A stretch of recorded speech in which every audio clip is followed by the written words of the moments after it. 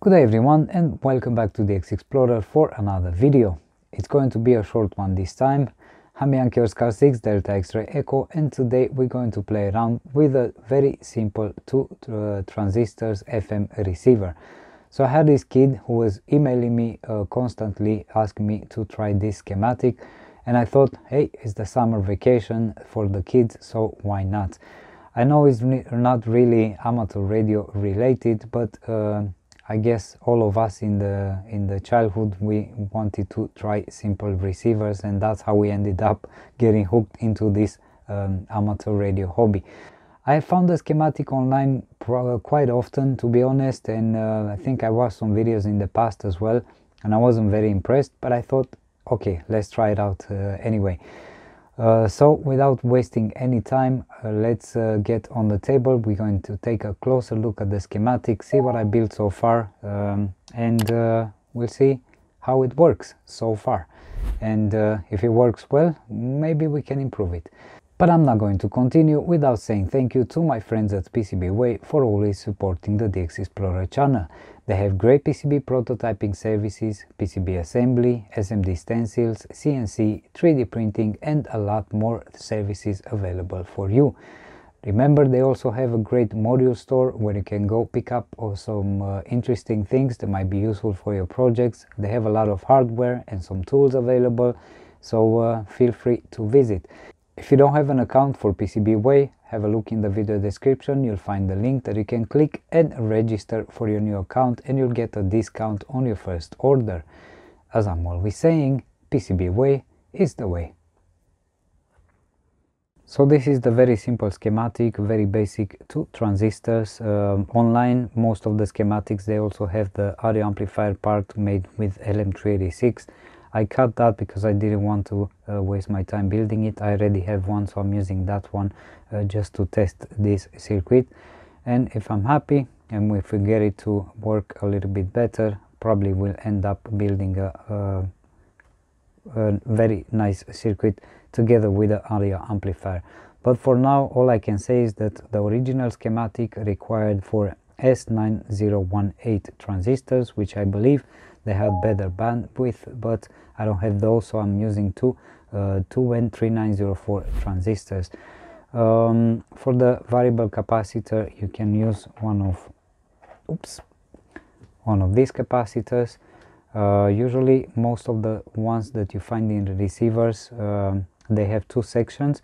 One it's 220 picofarads and the other one is 20 picofarads. So you will want to use the 20 picofarad section in my case right now actually over here I have 160 picofarads and in this side I have 60 picofarads so what I did I placed uh, 15 picofarads in series uh, a fixed capacitor in series with the variable capacitor to lower the value of this one. Now uh, what else I did? I built the inductor um, I don't think I built it uh, uh, with the dimensions uh, that I found online in various schematics. Basically, I just used a screwdriver. Uh, I think it was 4 millimeters in diameter and I believe with 9 turns of 0.45 millimeters enamel copper wire, I ended up with 0.55 microhenry. So I tried to respect the values in the schematic uh, just because I wanted to see how it works without any uh, possible modifications. But of course I had to adapt to whatever I, I had available. Here 22 kilo ohms uh, resistor, you have 4.5 volts uh, power input. I have 9, um, I, over here it was 22 nanofarads, in some schematics I found 100 nanofarads. I've realized that it sounds better with 100 nanofarads, so this is the one that I used and on the audio output over here usually you have the uh, potentiometer that goes to the audio amplifier. Um, and uh, what I did I actually used a resistor to increase the um, output uh, impedance of the circuit. And I'm using a 2.2 kilo ohms resistor. Here you can use anything between uh, 1 point no 1 1 um, sorry 1 kilo ohm maybe to up to 4.7 kilo ohms depending on the audio amplifier that you're using. And uh, that in case you don't use a potentiometer and I think that's it. So this is the circuit. Um, yeah let's uh, let's test the the receiver. I'm trying to receive some stations without music timp a scris tot sub cupola aceasta viziune impresioniste, creând însă o psihologie impresionistă, adică o, o psihologie plină de So this is one aer, adică transpunerea ideii de aur din aer din impresionism. one station over here. Uh, let's see if we can receive anything else.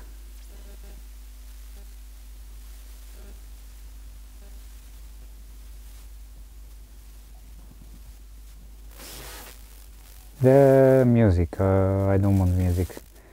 Anyway, some more stations over here. The problem, we'll talk a little bit uh, about that in, uh, in a second.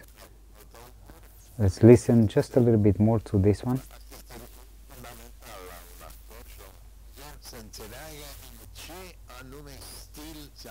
Lucrarea pe care o înscenează. Foarte mulți folosesc uh, ca niște pretexte pentru gusturile lor. Pentru mine am formulat o dată la o ședință unde s-au discutat asemenea probleme de regie și de dramaturgie am lansat o idee, fidelitatea inspirată. Am spus So it's not bad. It has it has potential. The, the only problem is that it's not very stable in frequency and it's very sensitive to touches, as you can tell. But of course, the way I build the circuit over here is not a good idea uh, to have it in, in this one. But let me turn on the light really quick and I'll be right back to explain a couple of more things. Okay, now with the LED light it's a lot better. I could not record the audio with uh, that one uh, to demonstrate the receiver just because it uh, captures all the um, uh, interferences from the from the LED light and you can't hear anything.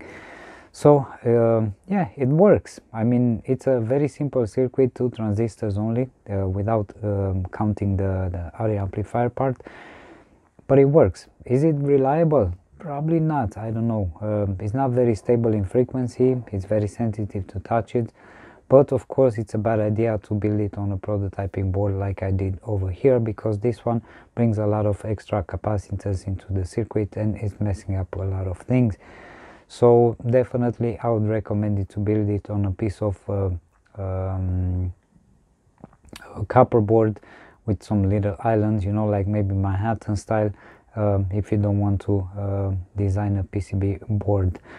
But if it works nice and um, I get it to work better and um, you know maybe get it a little bit more stable in frequency um, and if it performs nice maybe I will design a PCB board um, which could be great for uh, kids clubs you know like radio clubs um, for kids activities because why not? It's a lot of fun. And you get to listen to some um, local FM stations. So yeah it's a it's very simple circuit. It's not bad um, and it works. I mean as simple as it is um, it does work. And i believe with the original transistors it was working probably even way better than this one. So what i'm going to try to do now i'm going to stop here with this video. I'm going to play around a little bit see if i can get the circuit to work a little bit better. And if it does i'll also work on the audio amplifier part test it out and i'll come back with a part two uh, of this video uh, probably later on this evening um, we'll post another video and I'll tell you uh, we, um, my opinion and uh, the final result that we get with this uh, simple receiver. But as it is in the original schematic that you find online it does work definitely. Is it perfect? Probably not but it's worth trying and it's worth experimenting with at least just for the fun of it. So uh, yeah I'm going to stop here. I'm not going to keep this video any longer. I'm going to go to sleep because it's about 4 o'clock in the morning right now by the time I'm recording this video. So uh, yeah, I'm going to come back uh, later on this evening. And meanwhile, probably you'll be watching this video. so thanks so much for watching. This is a fun project. It reminds me of my childhood um, if this one doesn't work and I can't get it to work um, better than it does right now I think I have an idea with another circuit that is using only one transistor except the audio amplifier part so we might want to try that one as well we'll see uh, we'll see in the later video uh, today um, this evening. So thanks again for watching. I'll see you in the next video. Until then 73 from yankee oscar 6 delta x-ray echo